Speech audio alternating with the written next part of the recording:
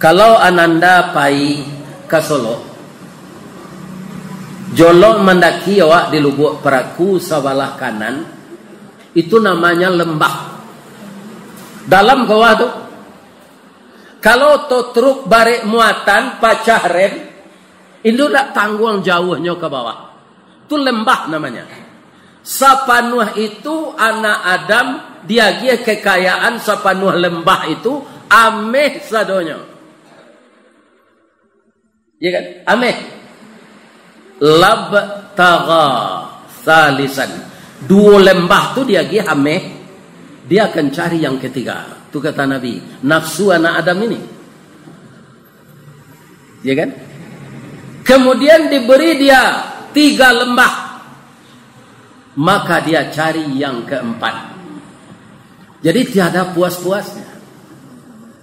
Itulah dunia.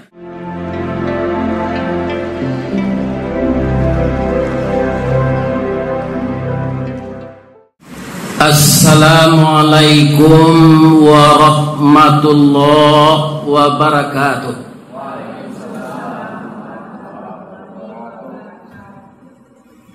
Jangguiklah putih serupa perak. Tandonyo Ustad Allah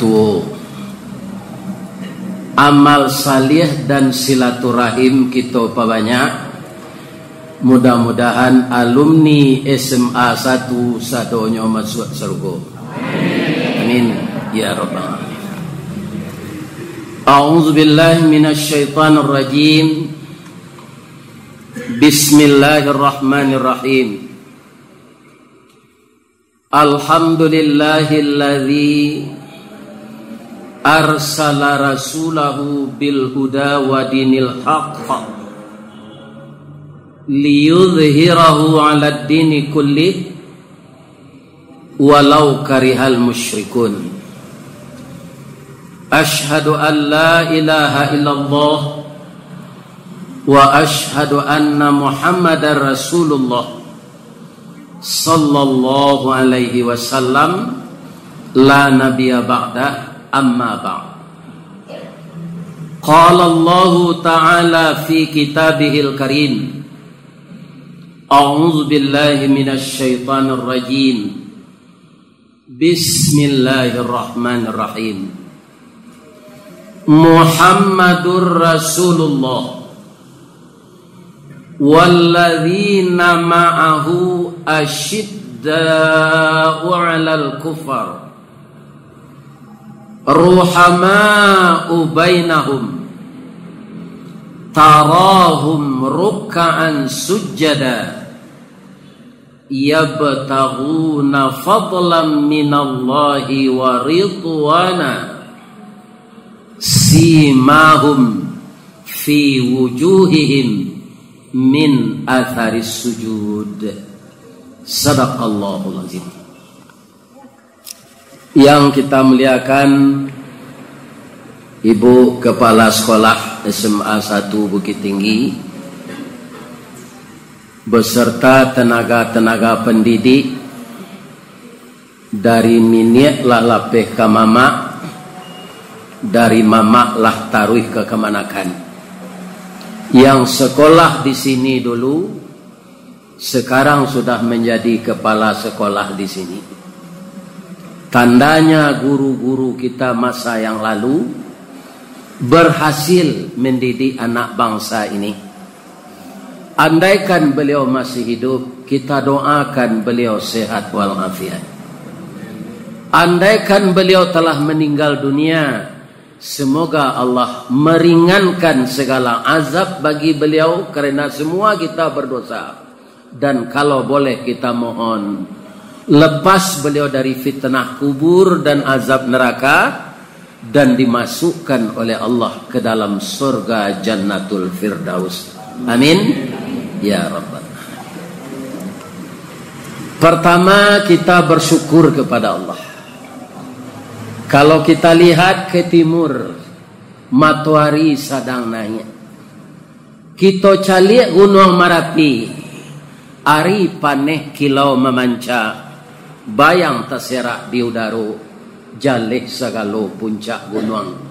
kanai cahayo matahari awan bararak duo-duo basere kabui nan sabondong. Kabui naik gunung lah tinggal. Manangi laku kepanasan. Apa maksudnya itu? Mungkin saja bapak ibu yang dididik beberapa tahun yang lalu sekarang ada yang berada di Melbourne di Sydney di Amerika nan gurunya tetap tinggal di lawang. Orang lawang baparak tabu mangilangnya sarayokan. Sabah-sabahlah sadonyo guru. Guru lah berhasil mantangkan kami kanan baik. Amin. Ya ambo tanya tadi jo ambo kalau alumni 92 tu rato-rato paling tua kelahiran 71 ya je. Keciknya yo nan 71 tu lah 2 tahun tinggal tu macam. Jadi orang nan tahun 92 ko itu kelahiran tahun 73 namanya. Kalau begitu tu anak saya semuanya kemenakan saya. Kenapa? Karena ada salah satu kemenakan saya Dedi Perdaus itu nan paling khawatir rambo ndak kedatang kamari.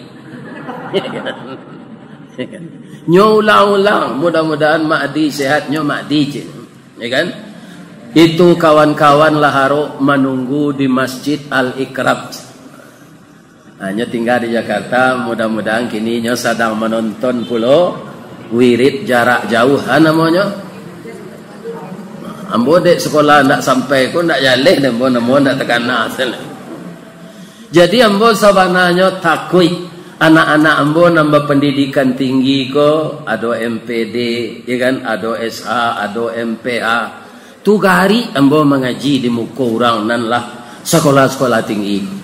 Baman ko gari ilmu kurang sekolah tangguang mengaji nak sampai katam sulit lah ambo ke bercerita.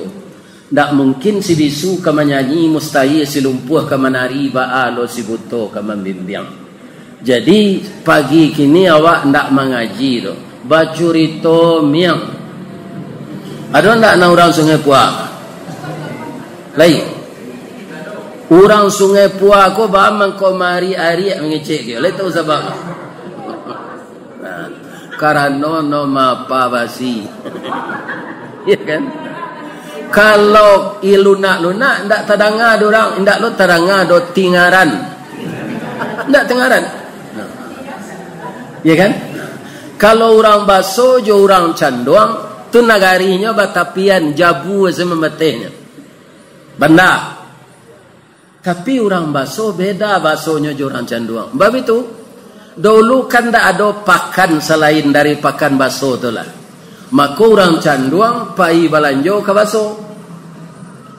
Itu angkot alunado, jalan angkot bendi tak ada maka dijujuang salah kati diang ko makin kate makin mendaki angoknya sasak. Di kalau orang baso ma cakodu ya kan? Pi kalau orang jendong ma jero yo angok salang sasak. Ma jero tang pun tun. Lai bali nyam. Jadi bahasa daerah itu dibentuk oleh situasi daerah kita Mudah-mudahan kita semua dalam keadaan sehat walafiat.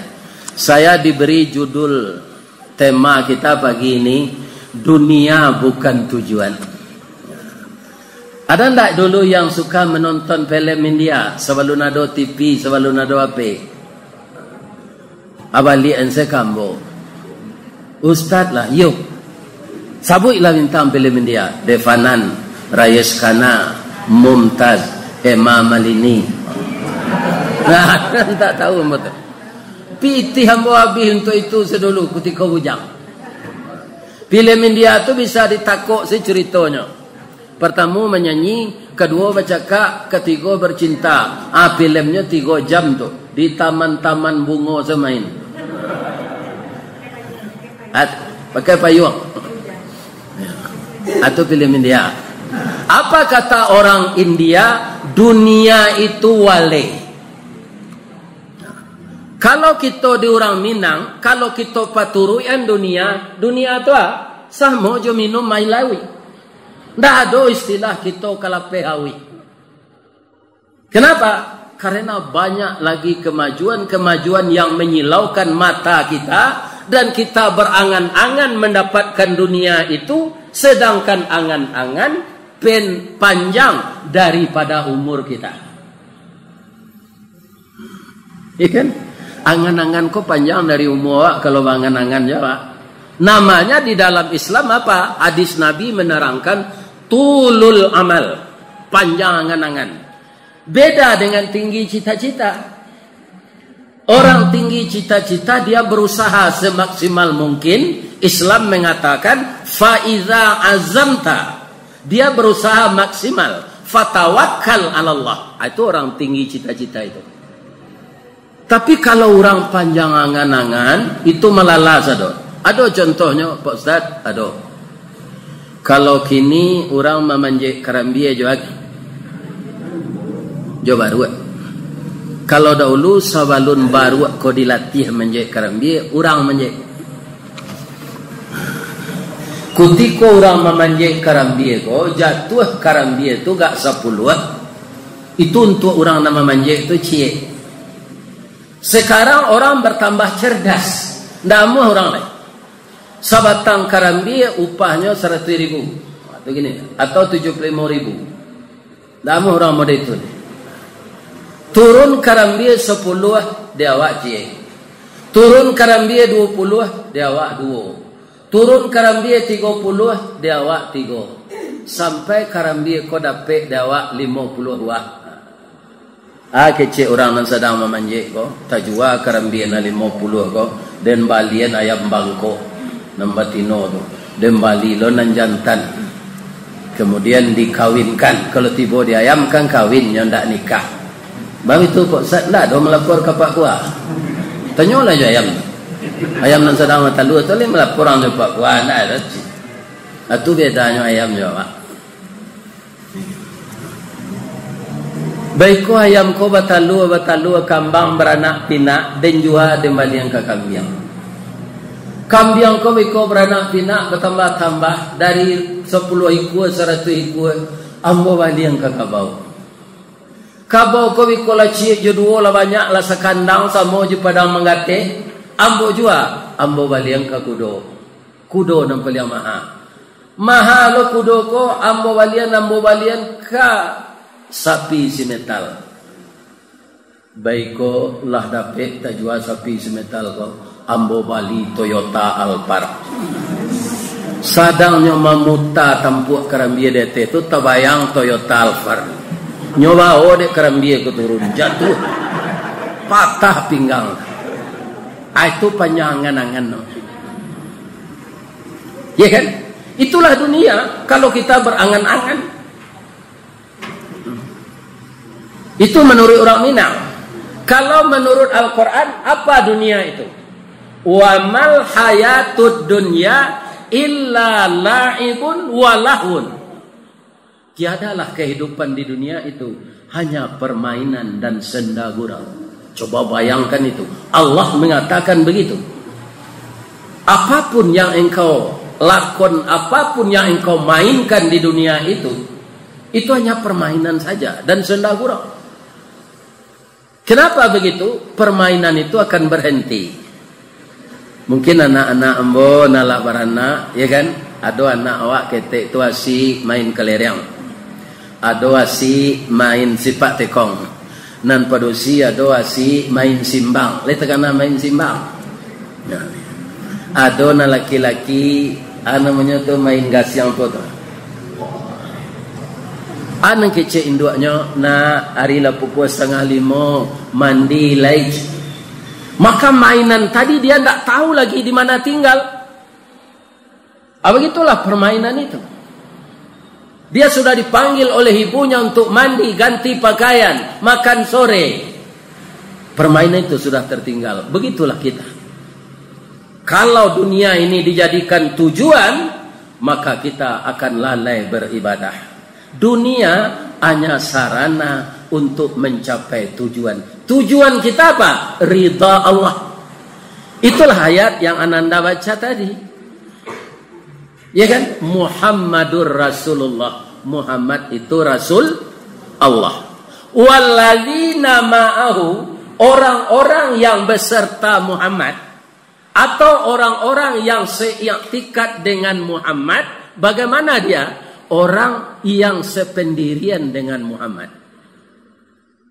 Nabi Muhammad itu nak memang tak kata tiru dah serupa itu mana ketika beliau akan meninggal. Apa kata Fatimah anak beliau? Ayah, apa nanti ngarat tu ayah? Nanti ngaji galuak panimbo ayah bau dua selai kecil Nabi. Tadi ada piti hambo beberapa dinar, tapi lah hambo sedekah kan. Coba bayangkan Rasulullah kekasih Allah, Sayyidul Alam, akhlaknya dipuji oleh Allah, secara fisik dia gagah, secara rohani akhlaknya dipuji Allah. Wa innaka la ala khuluqin azim. Tapi ketika akan mati nanyo tinggal panimbo aye untuk bau dua seci.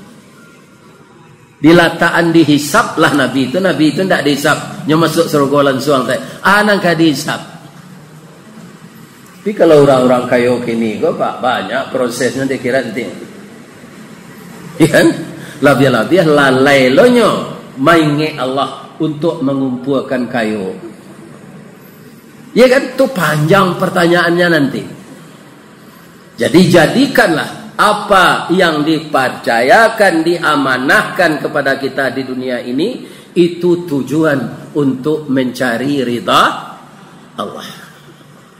Anak-anak ambo angkatan 92 ko ada ndak nan jadi guru? Ada. Ya. Alhamdulillah. Apa untuknya jadi guru ko Pak Ustaz? Nam pertama sekali pulang pai kalian berasia. Cuca lihat undi kakak awak nambatani bawang di kampung nambatani kapelo. Itu kukunya bacik nagan. Nyoba lihat suaminya hand body ndak mapan. Iya kan? Kerana beko ka masuk lunau lo balik. Talingonyo basisi di jile ari. Iya kan? wajahnya tidak sesuai je umurnya lain. Umur 25 baru wajahnya sampai puluhan. Ha, ananda yang jadi guru, ya kan, badan barasih pulang pai. Kuku bisa dipanjangan dikutek sirah-sirah. Bibi digin. Digincu kalau orang tani habis no di kawah daun beli. Biar bagincu na no. Jadi banggalah jadi tenaga pendidik. Bupati siapa yang mendidiknya? Guru. Presiden siapa yang mendidiknya? Guru. Menteri siapa yang mendidiknya? Guru. Ditambah lo cik lain. Ambo kena ndak jadi guru, do cuma do adik ambo berdua jadi guru. Ni kan di SMP Cempancan doang cik, di SMP Ampuh cik macam. Atau dapat lo tunjangan sertifikasi. Ya tu. Ya do itu. Ha. Ambo sama so karajo di PT Semen Padang, lah kampir pensiun, ada beberapa karyawan muda tu ingin nikah, itu harus dibawa calonnya ke kantor. Eh. Ambo nasihat. Ada sekali enam balik orang sekali sidang. Kerencak lo tu. Awak ngecek sekali itu. Saya banyak nak mendengar. Ah, rato-rato nan banyak membawa calon bini itu guru. Ambo tanya ke nyoba mengko pakai sekalian babini guru ko. Nampar tamu guru ko berhasil mendidik anak pak. Ya kan? Dia lemah lembut kepada anaknya. Tidak ada mengeluarkan kata-kata kotor. Karena bahasanya sudah indah semenjak di sekolah. Dan kedua Pak SK-nya mudah digadaian. Kalau SK BUMN tak mau rambang. Misalnya tak ada dia piti tunggu lah ke pembuat rumah. Digadaian SK. Amu developer bagi awak rumah. Iya kan? Atau ada lo pantunnya dia. Kalumbu Balai Baru sesimpang jalan ke Kuranji Peputa jalan ke Steba Biarlah agak gapu asal guru Abi bulan menerima gaji Dapat mengeredit waktu apa